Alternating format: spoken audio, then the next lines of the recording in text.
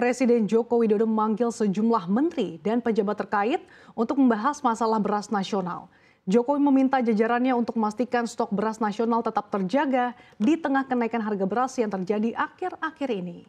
Kepala Badan Pangan Nasional Arief Prasetyo Adi mengungkapkan, Presiden Joko Widodo memerintahkan dirinya bersama Perum Bulog dan BUMN Pangan untuk mendistribusikan stok beras yang ada di gudang Bulog ke pasar-pasar.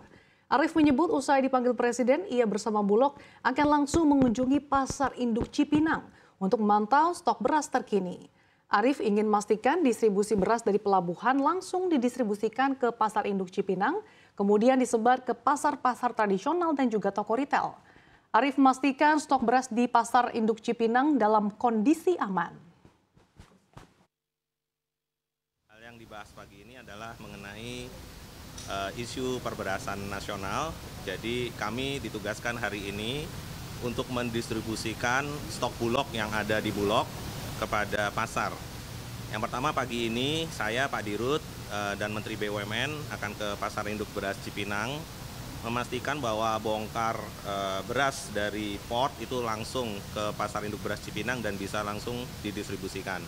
Saat ini di Cipinang stoknya eh, termasuk tinggi di atas 34 ribu ton dan ini yang harus sampai ke pasar-pasar tradisional dan juga modern market.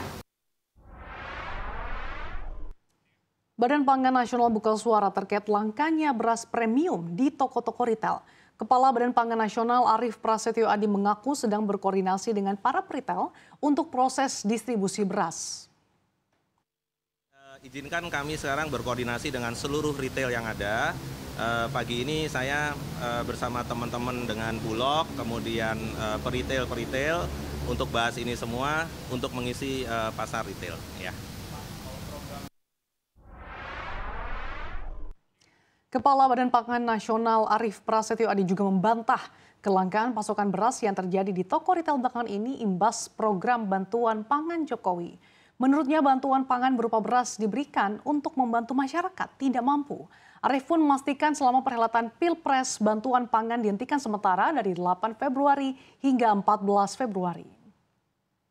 Kalau bansos itu nggak ada kaitannya sama harga, tetapi uh, ini memang negara hadir kepada bukan bansos, bantuan pangan. Saya koreksi ya, bantuan pangan beras pemerintah itu memang ditiadakan tanggal 8 sampai dengan 14 uh, eh, Februari untuk penghormatan kepada uh, pemilu yang dijalankan saat ini.